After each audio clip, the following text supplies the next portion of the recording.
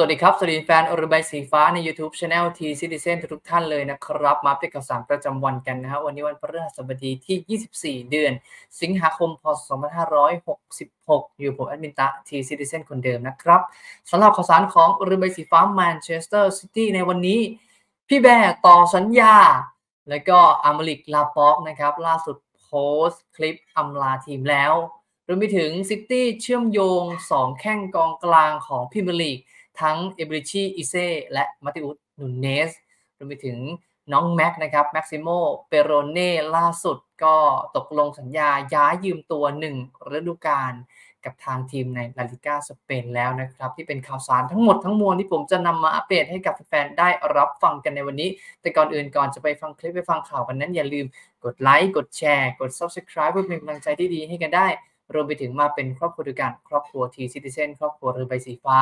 สำหรับแฟนๆไหนที่ไม่อยากพลาดคอนเทนต์ดีๆอย่าลืมกดกระดิ่งแจ้งเตือนเอาไว้ด้วยนะครับ และก็ฝากถึงสปอนเซอร์ผู้ใหญ่ใจดีนะครับที่อยากจะลงสินค้าโฆษณาต่างๆ ก็สามารถติดต่อมาได้โดยตรงเลยใน contact ที่ทิ้งไว้ใต้ description ของทุกคลิปทุกไลฟ์เลยนะฮะสุดท้ายเป็นเรื่องของการ support ช่องครับผมใครอยากสนับสนุนช่องอย่างเป็นทางการ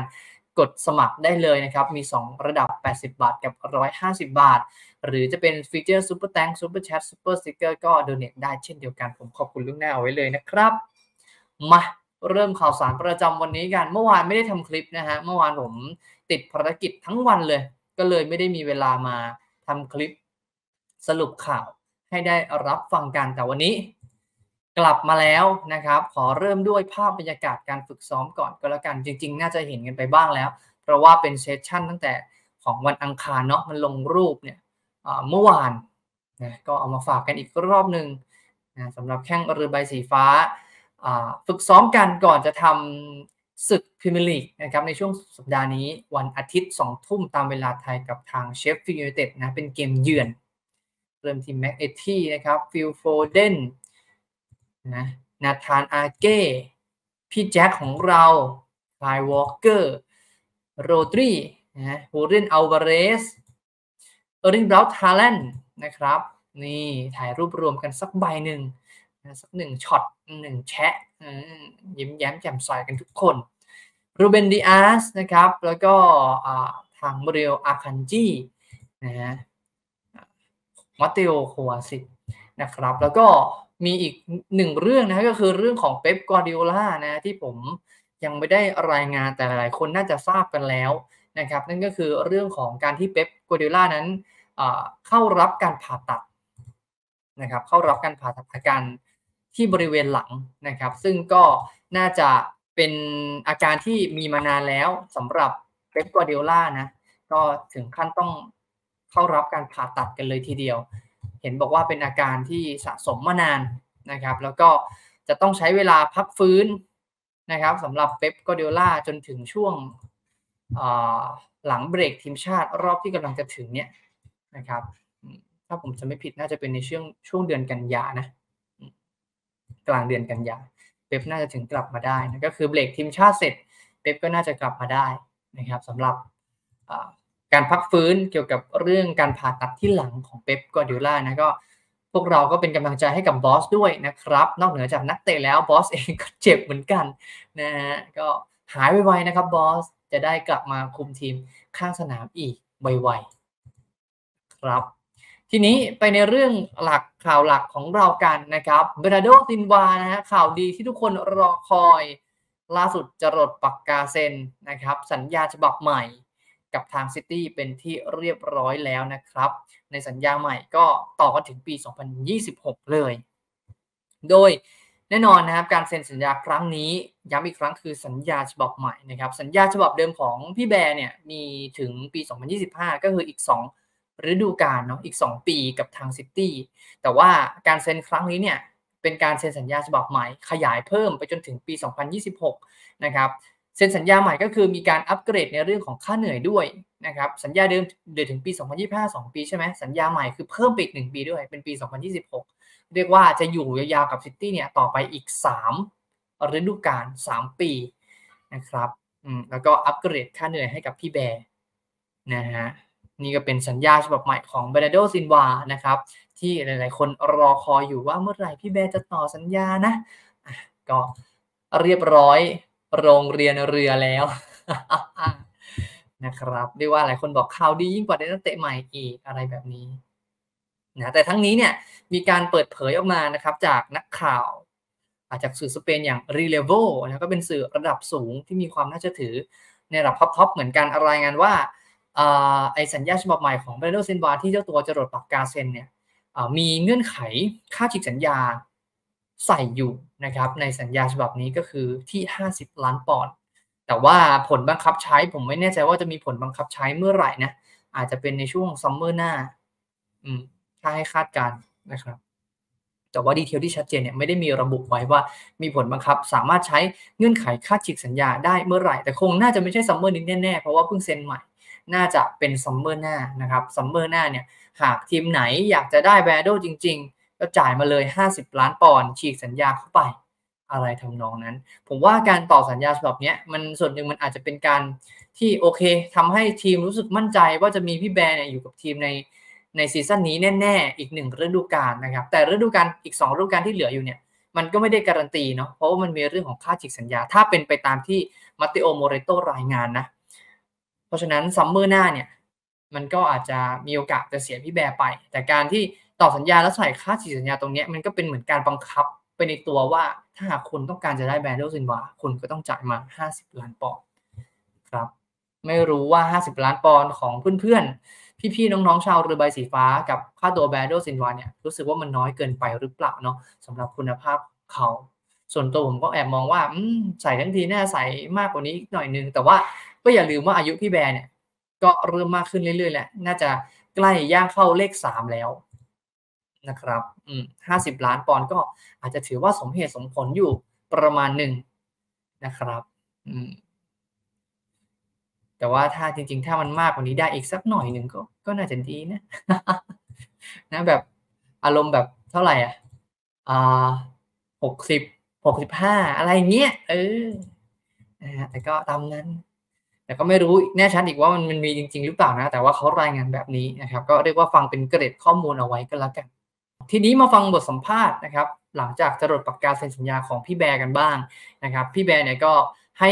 ความรู้สึกของตัวเองนะพูดความรู้สึกของตัวเองออกมา หลังจากจรดปากกาเซ็นสัญญาฉบับใหม่ พี่แบร์บอกว่าผมมีช่วงเวลาที่น่าทึ่ง 6 ปีที่แมนเชสเตอร์ซิตี้และผมดีใจที่ได้ขยายเวลาอยู่ที่นี่การคว้าทริปเปิลแชมป์เมื่อฤดูกาลที่แล้วถือเป็นเรื่องพิเศษอย่างยิ่ง และมันน่าตื่นเต้นที่ได้เป็นส่วนหนึ่งของทีมที่มีความกระหายและหลงใหล เช่นนี้ ความสำเร็จทำให้คุณต้องการมากยิ่งขึ้น และแมนซิตี้ให้โอกาสผมในการคว้าชัยชนะต่อไป ผมรักผู้จัดการทีม เพื่อนร่วมทีมแล้วก็แฟนบอลและหวังว่าเราจะได้แบ่งปันความทรงจำที่ดี ยิ่งขึ้นไปอีกนะครับนี่เป็นบทสัมภาษณ์ของแบร์นาร์โดซิลวานะครับเปิดใจหลังจากเซ็นสัญญาใหม่ ทีนี้มีทางสิกิเบเกอรี่สไตล์ด้วยผออกีฬาของทางเรือใบสีฟ้าเรานะคนดีคนเดิมที่ เวลาต่อสัญญาหรือเซ็นสัญญาใหม่ก็จะมาถ่ายรูปแบบนี้ซิกิบอกว่าแบร์นาโดเนี่ยทำผลงานได้อย่างยอดเยี่ยมในช่วงเวลาที่เขาอยู่กับแมนเชสเตอร์ซิตี้เราดีใจที่เขาได้เซ็นสัญญาขยายออกไป คุณภาพและความสามารถทางเทคนิคของเขานั้นยอดเยี่ยมมาก และก็ควบคู่ไปกับการทำงานหนัก และความเป็นมืออาชีพของเขา เขาได้กลายเป็นหนึ่งในผู้เล่นที่ดีที่สุดในโลกแบร์นาโดมีความสำคัญมากในฤดูกาลที่แล้วที่เราคว้าทริปเปิลแชมป์ได้ เรามั่นใจว่าเขาสามารถช่วยเราคว้าแชมป์ได้มากขึ้น ในอีกไม่กี่ปีข้างหน้านะครับนี่เป็นความรู้สึกของทั้งสกิของออกิราเราแล้วก็แบดโดซินวาที่นำมาฝากกัน ทีนี้ข่าวต่อไปนะฮะข่าวดีแล้วก็ต้องมีข่าวร้ายก็หลังจากได้บทสรุปในการย้ายทีมของอเมริกลาปอสนะครับ ซึ่งมีข่าวว่าจะย้ายออกมาตลอดช่วงซัมเมอร์ที่ตลาดเปิดนะฮะและล่าสุดก็ลงเอยกับทีมในลีกซาอุดิอาระเบียอย่างอัลนาสเซอร์ นะฮะด้วยค่าตัวราวๆสัก 23.5 ล้านปอนด์ล่าสุดเอเมริคลาปอร์ตนะครับปราการหลังทีมชาติสเปนของเรือใบสีฟ้าก็ได้โพสต์คลิปนะครับกล่าวอำลาต่อแฟนๆซิตี้อย่างเป็นทางการ ซึ่งก็เป็นคลิปนี้นะ แต่ว่าผมอาจจะไม่ได้ play ให้ทุกคนได้ฟังกันนะลองไปหาชมกันได้ในโซเชียลมีเดียส่วนตัวของทางนักเตะเอง เดี๋ยวผมจะสรุปใจความในคลิปให้ได้ฟังกัน ลาป็อกเนี่ยกล่าวในคลิปนะครับ บอกว่ามันมันง่ายเสมอที่จะคิดถึงสิ่งดีๆ ที่เกิดขึ้นที่แมนซิตี้นะครับ ทั้งถ้วยรางวัลชัยชนะประตู หรือว่าการป้องกันในเกมรับ แล้วก็การต่อสู้ที่ยิ่งใหญ่นะครับในพรีเมียร์ลีกแต่ผมก็จะจำสิ่งในแง่มุมของความเลวร้ายด้วยนะครับ ไม่ได้ไม่ได้จดจำแค่ในสิ่งที่ดี จดจำในแง่มุมที่ร้ายด้วย เช่น อาการบาดเจ็บการถูกกีดกันนะเวลาไม่ได้ลงสนามหรืออะไรก็ตาม ความพ่ายแพ้ความผิดพลาดที่ผมทำที่ผมก่อขึ้น ตั้งแต่ถ้วยรางวัลจนถึงความพ่ายแพ้ชัยชนะจนถึงอาการบาดเจ็บ ทั้งหมดนี้เป็นส่วนหนึ่งของการเดินทางของผม และผมรู้สึกขอบคุณอย่างยิ่งกับทุกช่วงเวลาที่หล่อหลอมให้ผมเป็นตัวผมในวันนี้ ผมอยากจะขอบคุณทุกคนที่ทำให้การเดินทางครั้งนี้เกิดขึ้นสโมสรแมนซิตี้บอร์ดบริหารโค้ชและทีมงานทั้งหมดเพื่อนร่วมทีมทุกคนที่ผมแชร์ห้องแต่งตัวด้วย และแน่นอนพวกคุณแฟนๆทุกคน ถือเป็นเกียรติและยินดีที่ได้สวมเสื้อสีฟ้าตัวนี้ และผมหวังว่าคุณจะจำผมไปในทางที่ดีสำหรับสิ่งนี้ ขอขอบคุณอีกครั้งสำหรับทุกสิ่ง ผมขอให้คุณโชคดีในอนาคต และผมจะคอยเฝ้ามองดูพวกคุณอยู่เสมอ จนกว่าจะพบกันใหม่อเมริกนะครับ ก็ อ่านแล้วก็ขนลุกอะ่ะ ผมอ่านแล้วผมก็แบบ แอบน้ำตาคลอนิดๆนะ เพราะว่าอย่างที่บอกผมเชื่อว่าแฟนๆเรือใบทุกคนรู้สึกเหมือนกันแหละ กับการจากไปของลาบอกนะว่า บางทีก็แอบสงสารเขานะครับ ในโชคชะตา อืม เออ ก็นั่นแหละ ทีมที่มาสนใจเขาเนี่ย ในช่วงที่เขามีโอกาสจะย้ายออกมันก็ไม่ได้แบบ เป็นทีมที่คือเขาอะสามารถเล่นในระดับสูงได้ ผมผมเชื่อว่าหลายคนคิดแบบนั้นนะครับ แต่การย้ายไปเอานาเซอร์เนี่ย ผมว่ามันมันเป็นการที่ต้องการจะเขาต้องการจะลงเล่นด้วยหนึ่ง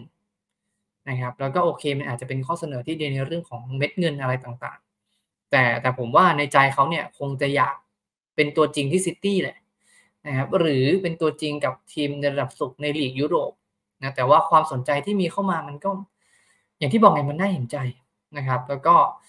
มันก็ยังดีอะนะครับ ที่เราไม่ได้จากกันแย่ไปมากกว่านี้นะครับเพราะว่าเขาเองเนี่ย เปรียบเสมือนคนที่ปิดทองหลังพระเลยนะครับ มีฤดูกาลที่ดีกับซิตี้เป็นตัวหลัก หรือฤดูกาลที่กัดฟันเล่นให้กับเราแม้จะบาดเจ็บ จนต้องถอนตัวออกจากทีมชาติหรืออะไรก็ตามเนี่ย เพราะฉะนั้นเนี่ยนะครับเขาได้ชื่อว่าเป็นคนสำคัญของเราคนหนึ่งนะครับลาปอร์ตเนี่ยย้ายมาร่วมทีมแมนซิตี้นะครับ ตั้งแต่ช่วงมกราคมปี 2018 ในช่วงฤดูกาล 2017-2018 นะครับ ลงเล่นทั้งหมด 180 นัดให้กับซิตี้ยิงไป 12 ประตู แล้วก็มี 4 assistตลอดระยะเวลา 5 ปีเศษในถิ่นเอเดียสเตเดียม ผมขอเป็นตัวแทนแล้วกันนะครับ พวกเราชาวซิติเซนชาวไทยนะครับเป็นขอให้เจ้าตัวเนี่ย พบเจอแต่สิ่งที่ดีต่อไปในอาชีพการค้าแข่งนะครับ แล้วก็พวกเราจะรักและคิดถึงคุณเสมอนะอเมริก ทุกอย่างก็จะจดจำเอาไว้นะครับ สิ่งที่ดีๆ ทั้งนั้นสิ่งที่ไม่ดี บางทีก็ไม่อยากจำ นะครับเพราะว่าผมว่าสิ่งที่ดีเขามีมากสิ่งที่ไม่ดีสำหรับลาปอร์ตนะครับขอให้โชคดีแล้วกันขอให้มีความสุขด้วยนะฮะสำหรับลาปอร์ตในอาชีพการค้าแข้งที่อัลนาสเซอร์นะครับโชคดีมีชัยโชคชัยมีบัวพูดแล้วก็ใจหายนะคนต่อมานะครับ คนนี้ก็เป็นดาวรุ่งนะครับแม็กซิโมเปโรนีนะครับ ก็น้องแม็กก็ย้ายไปยืมตัว นะกับทางลาสพัลมาสนะครับในลาลิกาสเปนหนึ่งฤดูกาลนะเป็นสัญญายืมตัวหนึ่งฤดูกาลไม่มีเงื่อนไขในการซื้อขาดนะครับเขาจะกลับมาสู่ทีมอีกครั้งในช่วงต้นฤดูกาลหน้าในช่วงซัมเมอร์ปี 2024 นะครับ ช่วงเดือนมิถุนายนก็นี่เรียบร้อยสวมเสื้อเรียบร้อยนะครับ เสื้อสีเหลืองเลย Maximo p e r o n e นะครับเป็นกองกลางแหละ นะฮะเป็นอารมณ์แบบ holding นะตำแหน่งหลักของเขาคือ holding ตำแหน่งเดียวกับโรดรีนะเพราะว่าถ้าอยู่ซิตี้โอกาสลงเล่นน้อยมากๆครับ คนที่ขวางหน้าเขาก็แทบยังยังไม่ได้ลงเล่นเลยนะฮะในรายของคาลวินฟิลลิปส์เพราะฉะนั้นตัวเขาเองก็น้อยลงไปอีก เพราะฉะนั้นก็ย้ายไปยืมตัวเก็บประสบการณ์นั้นดีมากๆแล้วนะครับข่าวต่อมาเข้าสู่ข่าวเชื่อมโยงซื้อขายกันบ้างนะครับ อัปเดตดีลของทางเจอร์มี่โดกู ล่าสุดเมื่อวานผมไม่ได้ทำคลิปไงนะแล้วก็มันมีความเคลื่อนไหวต่อเติมเพิ่มขึ้นไปนะครับ หลังจากที่ช่วงวันอังคารที่ผมได้รายงานไป แล้วก็แหล่งข่าวอื่นๆที่รายงานแล้วผมหยิบมารายงานอีกทีในช่วงวันอังคารนะว่าซิตี้นั้นปิดดีลเจอร์มี่โดกูจากแรนส์เป็นที่เรียบร้อยแล้วนะครับโรมาโนก็ here we go เรียบร้อยแล้ว เมื่อวานนี้เนี่ยมีความเคลื่อนไหวจริงๆ นักเตะบินมายังแมนเชสเตอร์เนี่ยว่าช่วงช่วงค่ำๆนะช่วงดึกเวลายุโรปนะของทาง ฝั่งยุโรปเขาช่วงคืนวันอังคารบินมายังแมนเชสเตอร์แล้วก็ช่วงรุ่งเช้าของเมื่อวานนะครับวันพุธตามเวลายุโรปของเมื่อวานเนี่ยก็ได้มีการตรวจร่างกายตั้งแต่รุ่งเช้าเลยนะครับ แล้วก็มีสิ่งต่างๆที่เกิดขึ้นนะครับ โดยการรายงาน detail ต่างๆเนี่ยเป็นการรายงานมาจากสื่อสายเบลเยียมนะครับ tier หนึ่งเลย อย่างซาชาทาวเวลลี่นะครับซึ่งรายงานค่อนข้างเป๊ะมากๆนะในดีล นักเตะเบลเยียมทุกๆคนรวมไปถึงเจอร์มี่โดกูด้วย ทางซาชาทาวเวลลี่เนี่ยรายงานนะครับกำหนดการเมื่อวานที่มันเกิดขึ้นเนี่ยก็คืออทุกอย่างเสร็จสิ้นแล้วข้อตกลงทั้งหมดนะครับแล้วก็เจอร์มี่โดกูเซ็นสัญญา 5 ปีกับซิตี้นะเมื่อเมื่อช่วงบ่ายของเมื่อวานนี้นะครับตามการรายงานแล้วก็หลังจากเสร็จสิ้น คือเซ็นสัญญาหลังจากเสร็จสิ้นการตรวจร่างกายในตอนเช้า คือเมื่อวานวันพุธเนี่ยตรวจร่างกายตอนเช้า แล้วมาเซ็นสัญญาตอนบ่ายนะครับ แล้วก็ทางแรนส์จะได้ค่าตัว 65 ล้านยูโรนะครับหรือ 55 ล้านปอนด์ไม่มี add-on ไม่มีเงื่อนไขส่วนแบ่งในการขายต่อ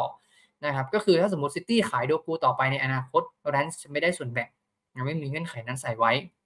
แล้วก็เรื่องการจ่ายเงินค่าตัวเนี่ยตามที่รายงานเลยนะครับ ก็จะแบ่งจ่ายเป็นงวดๆในระยะเวลาหลายปี แล้วก็ทางซาชาตาโวลิเอรีเนี่ยก็มีการลง detail ด้วยว่าการประกาศ อย่างเป็นทางการในดิวเจเรมี่โดกูกับซิตี้จะมีขึ้นใน 24 ชั่วโมงข้างหน้า ซึ่งก็คือวันนี้แหละนะครับวันพฤหัสบดีที่24สิงหา ถ้าตามเวลาไทยผมคิดว่าน่าจะเป็นช่วงบ่ายคล้อยไปเย็น อาจจะเป็นช่วงประมาณ 4 โมงถึง 6 โมงเย็นตามเวลาบ้านเรา ก็เดี๋ยวรอติดตามกันดูได้นะครับ ไม่น่าพลาดน่าจะประกาศวันนี้อย่างแน่นอนสำหรับดิวของเจอร์มี่โดกูนะครับที่เป็นความเคลื่อนไหวล่าสุดข่าวต่อมานะครับเป็นข่าวขาเข้า นะครับ ซึ่งเชื่อมโยงกับเราเมื่อวานช่วงเย็นๆนะมาทีเดียว 2 คนเลย นั่นคือทางเอเบชีอิเซ่แล้วก็ทางมัตเตอุสนูเนสนะครับสองกองกลางของทางทีมในพรีเมียร์ลีกทั้งคริสตัลพาเลซแล้วก็วูล์ฟแฮมป์ตันวันเดอเรอร์สนะครับเริ่มที่คนแรกก่อนไหมนะครับ ซึ่งซึ่งคนที่นักข่าวที่รายงาน ข่าวของสองคนนี้เนี่ยก็เป็น tier หนึ่งทั้งคู่นะครับ คนแรกเป็นแจ็คกอห์นนะครับ tier หนึ่งสายซิตี้ของเดลิเมลแล้วก็เดวิดออร์นสตีนเป็น tier god นะครับ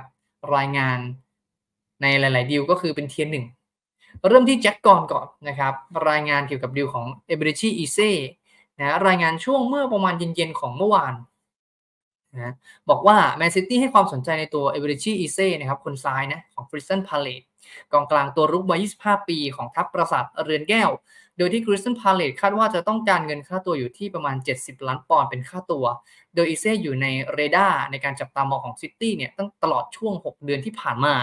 หลังจากที่ทีม scout ระดับสูงของซิตี้ประทับใจฟอร์มของเขากับพาเลซเป็นอย่างมากนะครับ หลายคนอาจจะงงโอ้โหทำไมค่าตัวแพงจังนะครับเอเบเรชิเอเซ่เนี่ยนะครับเป็นทีมชาติอังกฤษนะครับ ถึงจะมีเชื้อสายไนจีเรียก็ตาม แต่ว่าเป็นทีมชาติอังกฤษแน่นอนมี homegrownนะครับพอมี homegrown ปุ๊บค่าตัวก็เด้งขึ้นไปแน่นอน ดูได้จากกรณีของแจ็คกรีลิชนะครับพอมี homegrown ก็ค่าตัวก็เด้งขึ้นไปนะฮะก็ในทรานส์เฟอร์มาร์เก็ตเนี่ยค่าตัวโดยเฉลี่ยเนี่ยโดยการคาดการณ์เนี่ยอยู่ที่ 40 ล้านยูโรนะหรือประมาณสัก30-35 ล้านปอนด์ นะแต่พอมันมี homegrown เนี่ยมันโดดขึ้นไปเป็นเท่าตัวเลยนะครับ แต่ว่ามันก็อยู่ที่การเจรจาอีกแหละนะครับ ว่าซิตี้จะสามารถเจรจาลดค่าตัวลงมาได้หรือเปล่าจาก 70 ล้านปอนด์ที่ทาง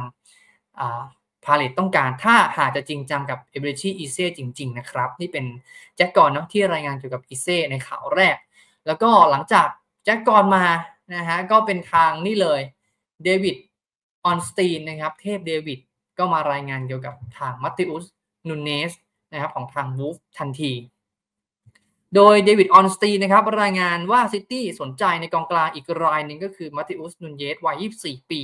ของวูล์ฟโดยรายงานว่าซิตี้กำลังพิจารณาเพื่อเซ็นสัญญากับมัตเตอุสนูเนสนักเตะอยู่ในระดับสูงสำหรับตัวเลือกที่มีอยู่ไม่มากนักสำหรับตำแหน่งกองกลางของซิตี้ตอนนี้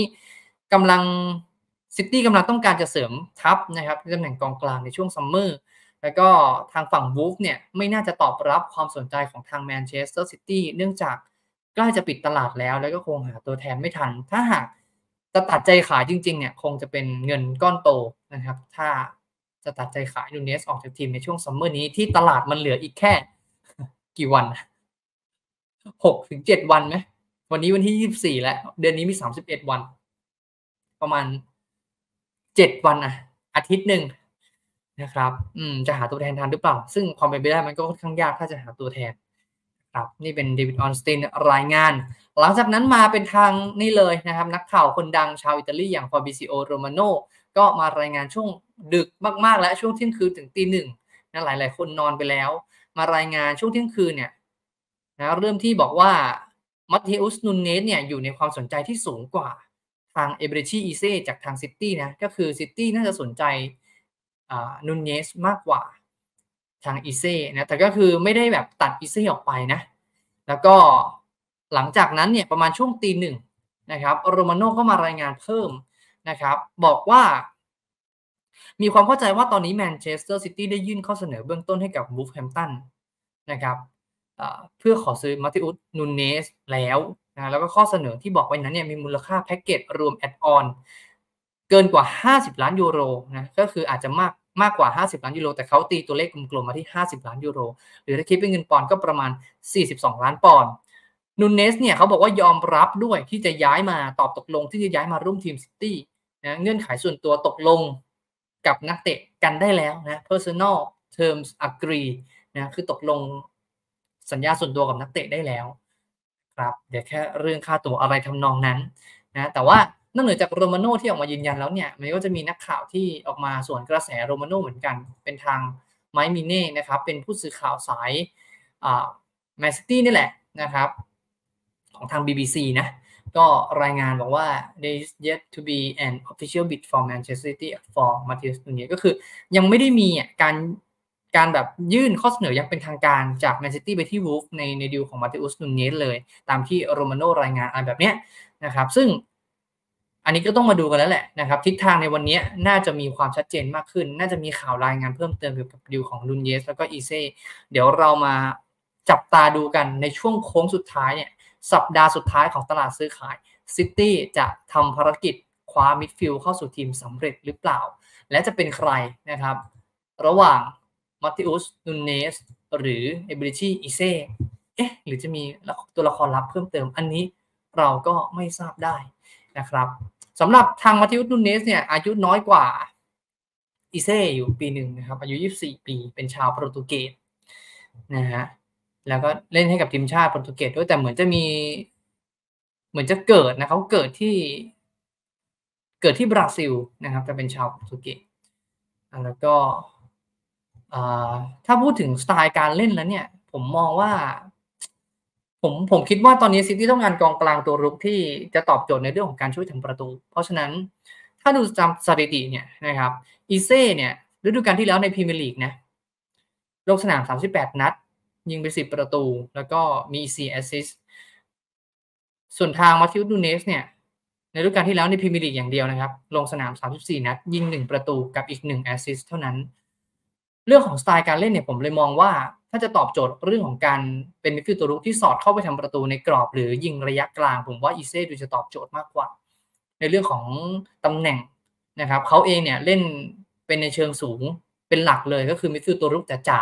แล้วก็ออกปีกได้ด้วยนะเป็นปีกซ้าย ซึ่งก็จะมีความหลากหลายที่ซิตี้สามารถเลือกใช้งานได้ ทั้งปีกแล้วก็กองกลางตัวรุก หรือกองกลางเบอร์แปดตรงกลางก็เล่นได้เหมือนกัน